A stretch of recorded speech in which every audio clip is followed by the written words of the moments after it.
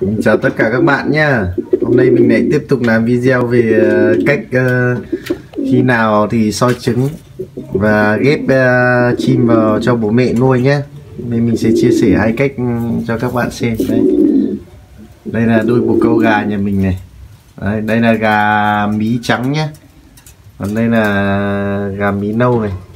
Đấy, Rất to. Đôi này nhà mình là gần 2 cân đấy các bạn ạ. Hôm nay mình sẽ chia sẻ cho các bạn à, cách khi nào à, soi trứng. Thì à, chim để được khoảng 3 đến 5 ngày thì các bạn bỏ ra soi thì lúc thì nó sẽ chuẩn hơn nhé. Thì Các bạn soi sớm là 1-2 ngày là nó chưa có cô đâu. Các bạn cứ để tầm 3 đến 4 5 ngày này các bạn rửa đi là soi là nó rất là gió. Bây giờ mình à, soi trứng cho các bạn xem nhé. Đây trứng của mình đã ấp được ờ, ba uh, bốn ngày rồi nhé. bắt đầu các bạn à, bỏ ra soi nhé. Để mình soi cho các bạn xem này.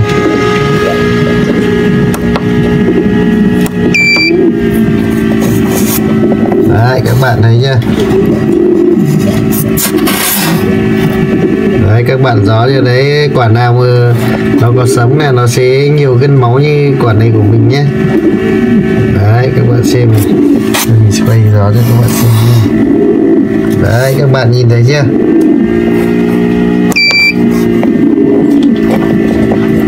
Đấy, quả nào nó có sông nó sẽ như này này. Gân máu rất là nhiều. Còn quả nào mà nó không à, có là nó sẽ không có cái kết máu ấy nha các bạn nhé. Đấy, quả này của mình này. Đấy, cũng có sống này. Đấy, các bạn nhìn rõ chưa?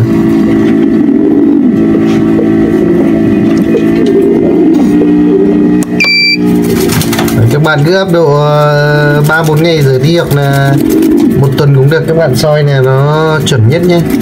Lúc này nhìn thì nó rất là dễ. Đấy, các bạn nhìn phôi khỏe mạnh là nó như thế này này đây bây giờ mình ờ, sẽ chia sẻ cách ờ, ghép ờ, chim vào cho bố mẹ nuôi để khỏi nó mổ nhé. Đấy chim của mình hôm nay còn một con nó đã nở nốt này. Hôm nay mình sẽ ghép cho các bạn xem nhé.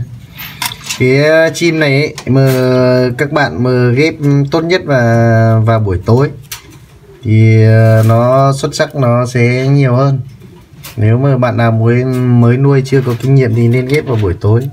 Còn đây mình nuôi ờ, quen rồi thì mình ghép ban ngày cũng được.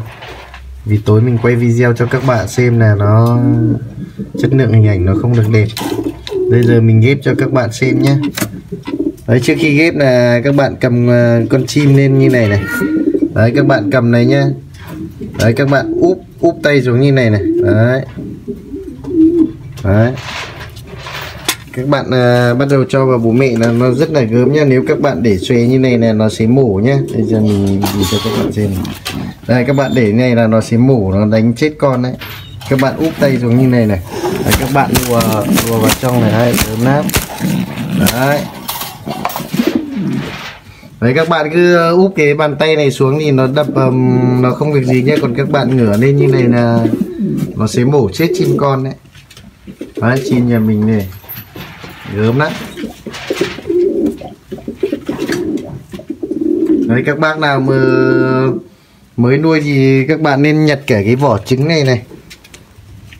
Đấy, các bạn cho cả con chim con các bạn, lúc nào nó mới nở thì các bạn ghép nắm tay xuống như này cho cả vỏ vàng được. Nhưng mà đây mình quên rồi thì mình không cần nhé.